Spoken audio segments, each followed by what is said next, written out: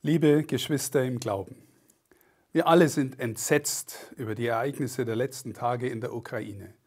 Der Frieden in Europa, den wir in den vergangenen Jahren für selbstverständlich gehalten haben, ist dahin. Menschen leiden und sterben tausendfach für das eiskalte Kalkül der Mächtigen. Menschen in ganz Europa haben Angst, der Krieg könnte sich ausweiten. Der Frieden, nach dem wir uns alle sehnen, scheint weit weg zu sein. Wenn wir Christen aber die heilige Messe feiern, sprechen wir häufig vom Frieden. Wir sagen uns einander den Frieden zu und wir werden auch am Ende gesandt mit den Worten, geht hin in Frieden. Manchmal denke ich, dieses Wort ist im Gottesdienst so selbstverständlich geworden, dass wir oft gar nicht mehr danach fragen, was der Frieden für uns Christen bedeuten kann, was er tiefer bedeutet. Denn wenn wir ehrlich sind, ist ja auch unsere Kirche nicht gerade in einer friedvollen Phase. Vielmehr erleben wir auch unsere Glaubensgemeinschaft in tiefer Krise. Diese Krise währt schon lange und hat viele Ursachen.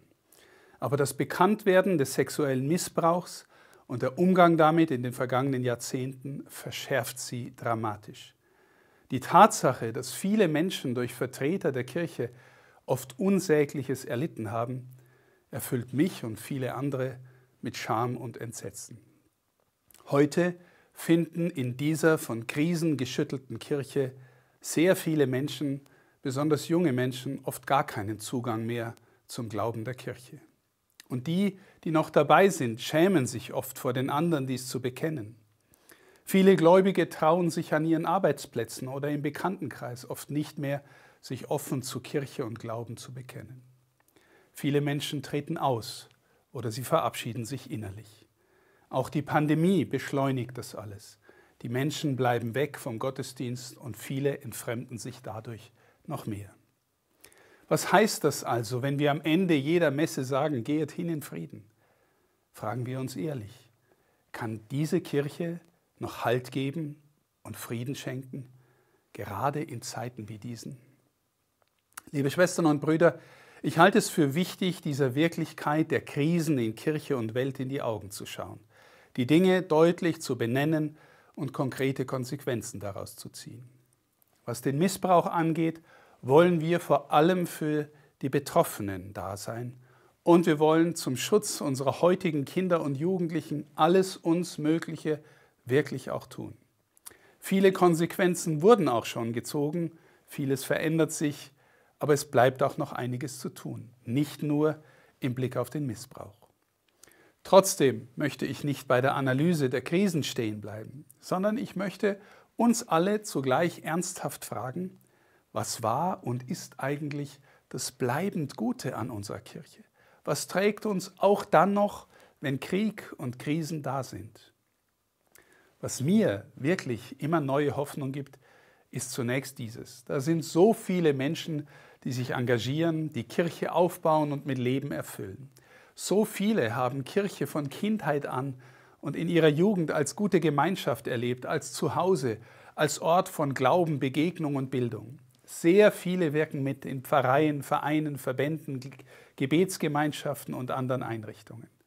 Unsere Schulen, unsere Kindergärten, unsere Pflegeeinrichtungen, Krankenhäuser, Beratungsstellen, Hilfswerke und andere soziale Einrichtungen, vor allem von der Caritas, all die sind oft leuchtende Zeichen einer dienenden Kirche in dieser Gesellschaft.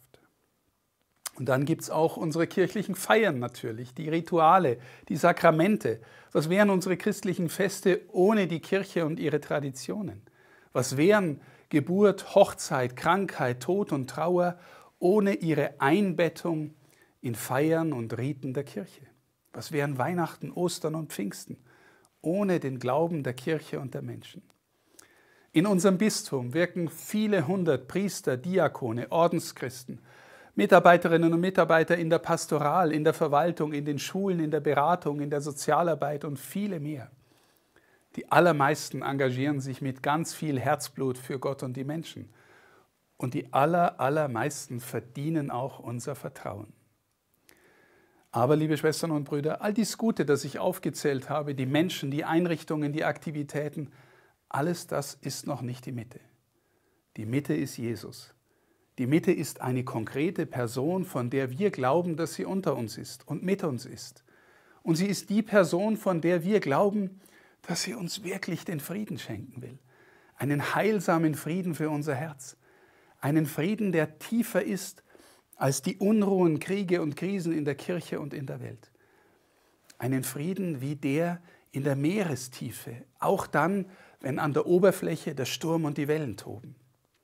Ich frage mich deshalb sehr oft, angesichts der Krisen der Welt und der Kirche, ihrer Skandale und der vielen Menschen, die weggehen, wie kann es gelingen, den Gläubigen und auch denen, die nicht oder nicht mehr glauben, wirklich den Weg in den tieferen Frieden zu zeigen?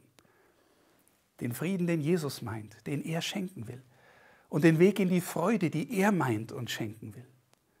Bin ich, sind wir miteinander Wegweiser für den Weg in einen Glauben, der ein frohes, friedliches Herz schenkt? Und kann ich wirklich glauben, dass uns Jesus in der Eucharistie so nahe kommt, wie wir es als Kommunionkinder mal gelernt haben? Nämlich, dass er wirklich und ganz da ist und dass er uns näher ist als irgendjemand sonst und als wir uns selbst? Kann ich glauben, dass er sich uns als Nahrung für die Seele schenkt? dass er uns immer neu zur Umkehr einlädt, weil er Sünden vergeben will und uns wirklich in einen tiefen Frieden führen will und kann. Auch dann noch, wenn um uns herum die Welt verrückt zu spielen scheint. Liebe Schwestern und Brüder, schauen wir auf unser eigenes Leben zurück. Vermutlich haben wir alle auch schon Momente erleben dürfen, in denen wir aus dem Glauben sagen konnten, ich bin im Frieden. Und vielleicht kennen Sie ja auch Menschen, denen Ihr Glaube einen tiefen Frieden schenkt, sodass Sie selbst berührt sind, wenn Sie mit diesen Menschen zusammen sind. Ich glaube tatsächlich, ein Aspekt unserer Kirchenkrise hat auch damit zu tun, dass es uns zu selten gelungen ist, auf diese Wirklichkeit des inneren Friedens hinzuzeigen und selbst aus ihr zu leben. Aus einer Mitte zu leben, die wirklich stärker ist als der Tod und die Angst vor dem Tod. Jesus kann uns diese Angst tatsächlich nehmen. Und ich bin völlig überzeugt, dass diese Mitte bleiben wird, solange diese Welt besteht.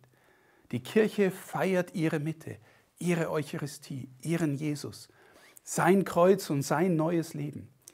Die Kirche empfängt ihn, wir Gläubige empfangen ihn. Und je aufrichtiger und inniger wir das tun, desto mehr eröffnet sich im Herzen der Friede. Denn wir sind ja sein Volk. Wir sind von ihm heimgeholt aus so vielem, was uns Angst machen will, was uns voneinander trennt, was uns von Gott trennt. Und weil er selbst die Mitte ist, ist die Kirche niemals nur Menschenwerk. Vielmehr ist zuerst Jesus da und bleibt da, trotz allem, was in dieser Kirche und in der Welt auch passiert und passiert ist. Er bleibt da für uns, für Sie und mich. Liebe Schwestern und Brüder, lassen Sie uns nicht aufhören, diesen Frieden zu suchen und aus der Nähe zu Jesus zu leben.